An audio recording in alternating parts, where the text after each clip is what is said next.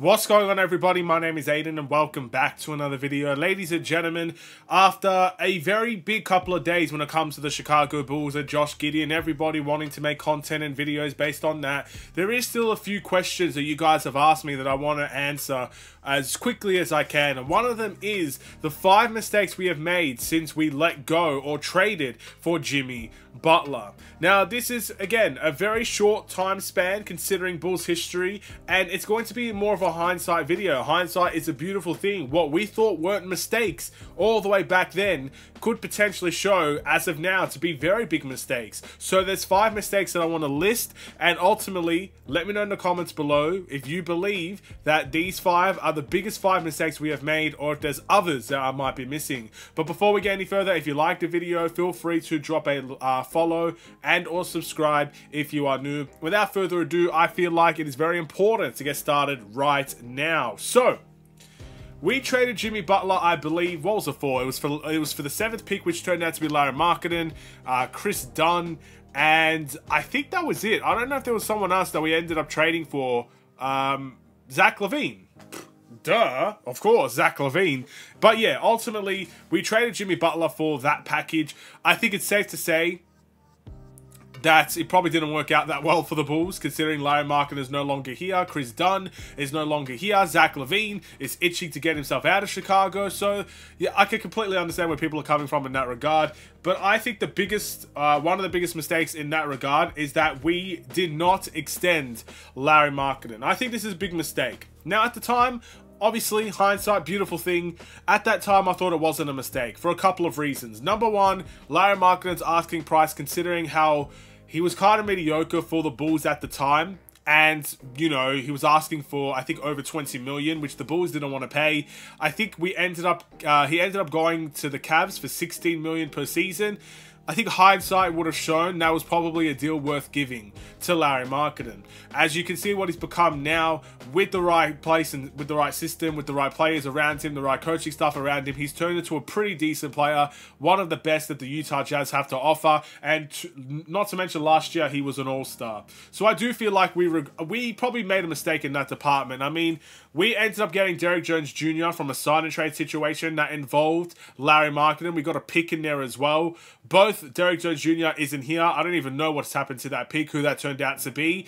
But I think we lost that trade, and ultimately, we probably should have kept Larry Markkanen around. So that's the biggest, one of the biggest mistakes I think we have made since getting rid of Jimmy Butler for Lauri Markkanen, Zach LaVine and the rest. But moving into the second thing, ladies and gentlemen, and that is hiring Billy Donovan. Now, again, hindsight's a beautiful thing. And the beautiful thing about this video is that you can go and watch what I was saying about Billy Donovan when we signed him. You can go and watch what I was saying about Lauri Markkanen when we got rid of him. The videos are there. So my opinions they're there. I can't fabricate them. I can't change them, pretend like it never happened or whatever the case may be because the proof is in the pudding and the pudding is on the channel and it's as simple as it gets. So what I was thinking about Billy Donovan was it probably wasn't my first choice, but I really did like the acquisition of Billy Donovan. I thought he would have been someone that could have helped the young players because of that situation where he had Chris Paul, sure, but the rest of that team was extremely young. They ended up getting to the playoffs. He won Coach of the Year. I really liked the acquisition of Billy Donovan. And then things started to happen, trades started to happen, whatever the case may be. Ultimately, I feel as of now that signing Billy Donovan on as the head coach was the wrong choice for the Bulls to make. And I think even Billy Donovan might secretly feel this because I'm pretty sure he was scheduled to have a break after the OKC Thunder, um, I guess, team. He, he mutually I guess, agreed to leave that team. He was going to take a break, and the Bulls just ran right in there to try to get the job done. And they ultimately got the job done. They signed on Billy Donovan. He, I believe, has a couple more years left on his deal. And right now, we are also heading into a potential direction of rebuilding and going younger and tanking. And I think that was a big reason why Billy Donovan wanted to leave the OKC Thunder as well, because of the lack of, I guess, competitiveness they may have, especially when they got rid of Chris Paul. So I feel that this was a mistake because we didn't really get anywhere close to competing, which is probably what Billy Donovan wanted to do. And now we're in a rebuilding situation, probably heading in that direction. And Billy Donovan didn't want to be part of that rebuilding team in OKC. Not to mention the rotations and the minutes and, and everything in between. The actual coaching side of the game has been very, very disastrous as well. I think this is a pretty obvious one. Um, hiring Billy Donovan, I think, has been a mistake for the Chicago Bulls. But moving into, I think, of a more controversial mistake, and that is trading for Nikola Vucevic.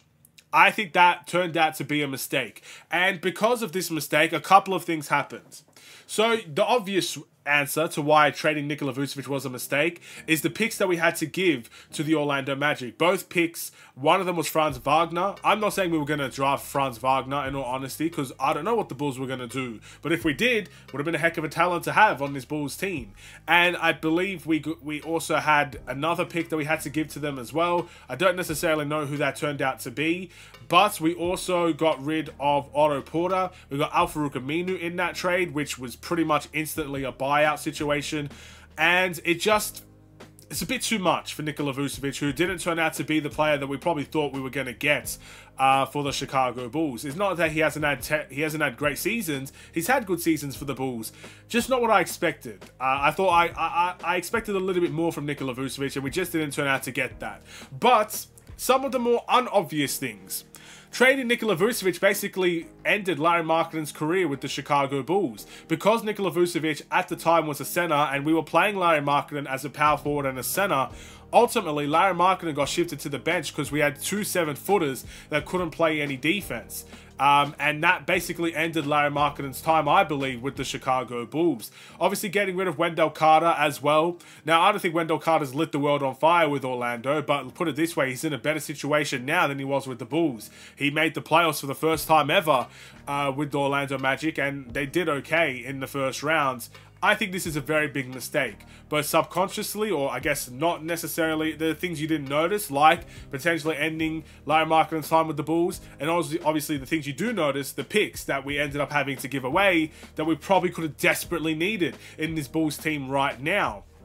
And put it this way, if we had those picks and we had that same core unit of Wendell, Lauri, uh, Coby White, Zach LaVine, and Kris Dunn, Granted, it wouldn't have been perfect, you know. Hopefully, we could have got Lonzo Ball and DeMar DeRozan in there at the time. But you would have had the picks as well. It just made more sense. I feel like Nikola Vucevic was a big stumbling block for the Bulls. Moving into number four.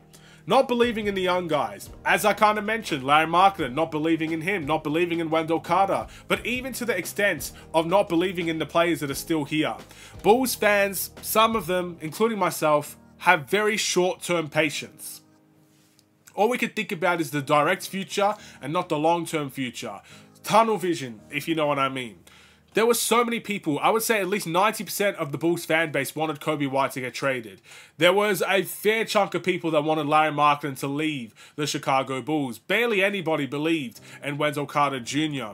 And you're probably in the same situation right now with guys like Dalen Terry, even Julian Phillips, Ayo Dosunmu. Some people just don't believe in him. I think the vast majority of people do, but some people don't. So you're in similar situations every single time because you're always getting young players, even Patrick Williams now. And since people don't believe in them, they just want to throw them away. Basically, let's get rid of them and let's go even younger. Let's go and get more people that could do the job.